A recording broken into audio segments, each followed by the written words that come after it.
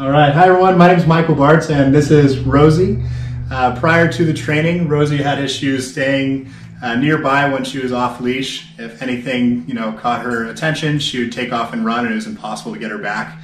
Um, after training, she knows how to stay right at my hip.